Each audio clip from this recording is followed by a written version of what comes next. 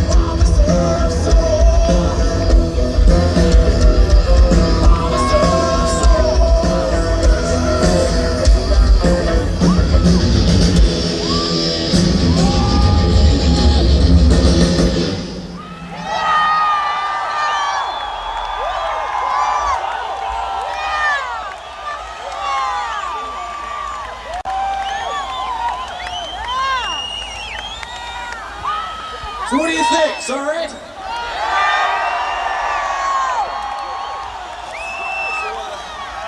You guys want to hear some old shit now? I know we got a, uh, a few fucking friends here, right? So uh, let's see if you know what the fuck this is.